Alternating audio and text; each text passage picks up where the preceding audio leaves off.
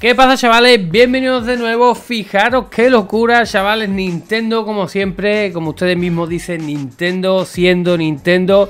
Pues nada, ya saben, Nintendo va por todas, hace poco os traje un vídeo comentando que borré todo lo de Nintendo. Me habéis comentado que lo que yo tenía de Nintendo, que me, me, lo llevara a otra plataforma y demás Pero bueno, prefiero quedar ajeno a todo, a todo esto de Nintendo de verdad porque...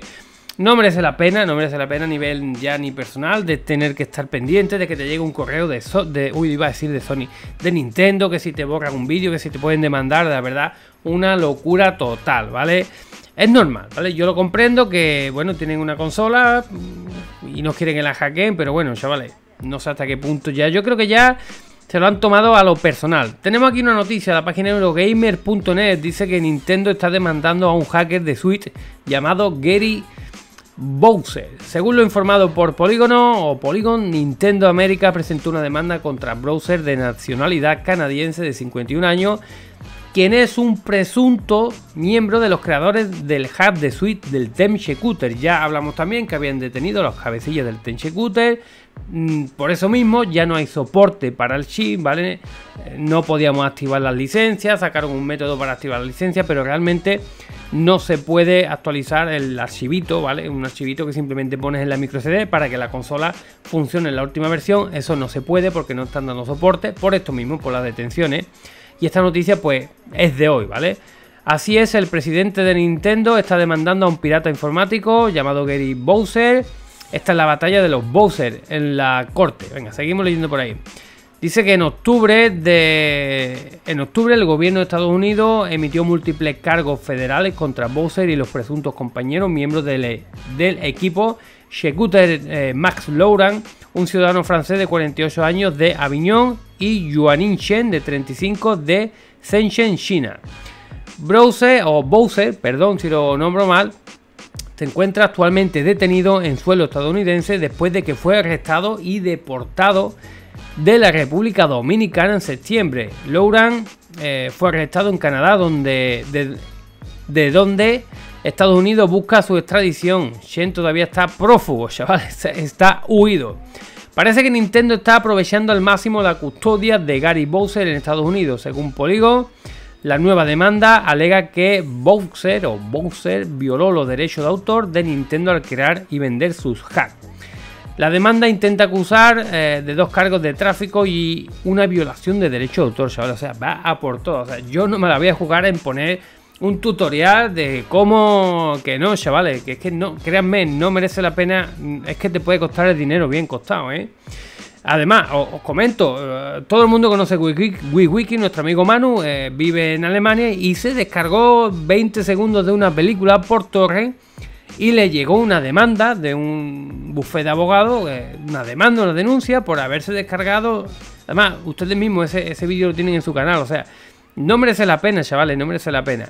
Tenshekuter es quizás más conocido por vender chip de Nintendo, pero ha estado operando durante años vendiendo chip para consolas desde la Xbox original.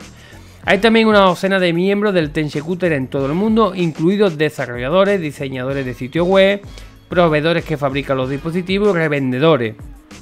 O sea, todo el mundo, chavales, hasta las tiendas. O sea, vamos a la cárcel todo. Tenshekuter utilizó una variedad de nombres de productos para su dispositivo, como el Getaway de la 3DS, Stargate, el True Blue Mini, Classic 2 Magic y la línea de dispositivos SX que incluía el SX OS, el SX Pro, el Lite y el SX Core. Pueden reconocer el nombre de la puerta del enlace 2014 Eurogamer. Informó que GTY había sido acusado de permitir que la consola 3DS de los usuarios fueran bloqueadas irremediablemente por un interruptor de apagado. Secreto que introdujo en una actualización reciente. GTY se había lamentado eh, anteriormente del lanzamiento de dispositivos imitadores que usaban versiones modificadas de su código, pero fueron reempaquetados y vendidos como productos separados. O sea, a por todas. En una entrevista, ¿vale? El Tenshekuto eh, refutó el estigma de la piratería mientras acusó a Nintendo de censura, control monopolístico y tácticas legales de miedo. Y es verdad, con esto del miedo, chavales, es que da miedo, chavales, es que, da miedo. Realmente te puede llegar a, traer un, gran problema, ¿eh? El Departamento de Justicia señaló que el Tenshekuter a veces encubrió su actividad ilegal con un supuesto deseo de apoyar a los entusiastas de los juegos que querían diseñar sus propios videojuegos. Bueno, como que tú habilitas el, tú vendes el chip para que el creador de Homebrew cree un Homebrew. Claro, puede también, es la finalidad también, ¿no? Tú liberas tu consola y creas un juego y lo puedes jugar en tu consola. Pero claro, eso también da pie a que puedas cargar copias ilegales, que es por ahí por donde le han metido, ¿vale? Bueno, seguimos por ahí.